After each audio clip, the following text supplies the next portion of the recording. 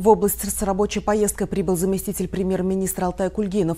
В ходе поездки он сообщил, что будет решена проблема аварийных школ и школ с трехсменным обучением в регионе. Также было отмечено, что медицинские объекты районов и аулов будут оснащены современным оборудованием.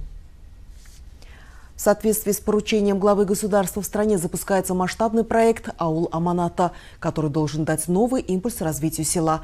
Об этом сообщил прибывший в область с рабочей поездкой министр сельского хозяйства Ербол Карашукеев на встрече с сельхозтоваропроизводителями.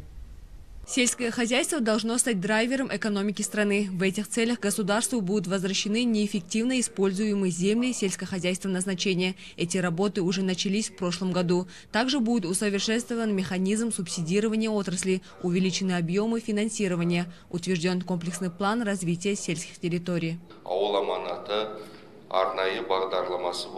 В рамках данной концепции начата масштабная работа по увеличению доходов сельского населения в рамках программы «Аул Аманата». На эти цели в ближайшие годы будет направлено 1 триллион тенге. В этом году выделены первые 100 миллиардов тенге. Из них в Казладинской области 3 миллиарда. Они будут направлены на выдачу 600 микрокредитов и создание 636 новых рабочих мест. В этом году в области будет засеяно свыше 195 тысяч гектаров, однако проблема нехватки воды по-прежнему актуальна. Поэтому министр призвал аграриев уделить первоочередное внимание диверсификации сельскохозяйственных культур использованию водосберегающих технологий. В этом направлении в области будет реализован ряд пилотных проектов. Глава региона поблагодарил Ербола Карашукеева за поддержку подобных инициатив, ознакомил с работой по повышению потенциала отрасли. В прошлом году было инвестировано 9 миллиардов 900 миллионов тенге. По сравнению с 2021 годом рост на 8%. В январе-феврале текущего года отмечено увеличение 13,2 раза по сравнению с аналогичным периодом прошлого года.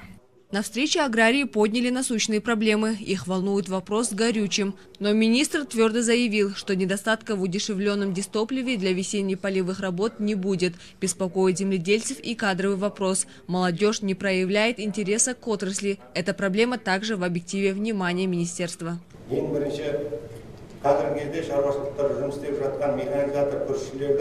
В настоящее время средний возраст механизаторов более 50 лет. Мы должны решать эту большую проблему. Через 10 лет в аграрном секторе может не остаться специалистов. Если сейчас не решим вопрос, потом будет слишком поздно. По сути, мы должны увеличить нашу квоту. Мы увеличим квоту для приема детей из аулов на эти специальности. Во-вторых, вы, фермеры, должны поднять зарплату. Это очень актуальная проблема. Сейчас имеются три университета, и они увеличивают квоту. Далее министр сельского хозяйства провел личный прием фермеров. Лимара Эргабаева, Ильрас Абдада, Шумаханов, Дархан Тухсиит, телеканал Кызларда.